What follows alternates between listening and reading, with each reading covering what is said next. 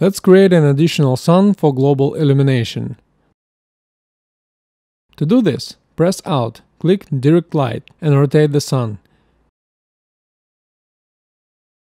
Creating a copy of it, change the angle so that it looks like the blue refill light is coming from the sky.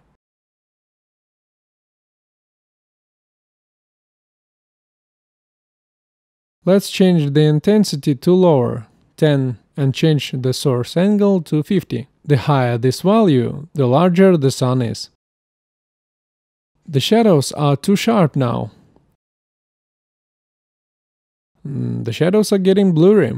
The higher these values, the larger the disk of the sun is. Let's turn off the effect of the firmament by removing the Affect World checkbox.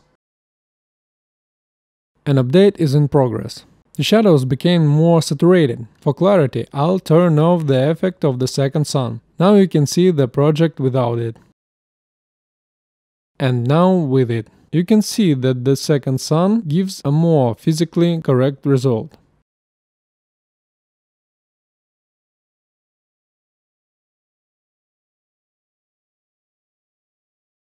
Let's increase the value of the second sun from 1 to 1.5. Find Skylight, click the checkbox Affects World,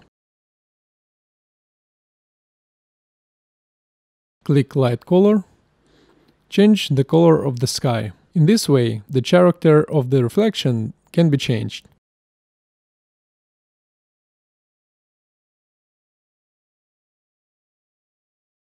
I will show you how you can copy any color. For example, now I've copied the color by right-clicking copy and then putting it back. This is also convenient to use in the base color, material color. In this way you can choose some other color.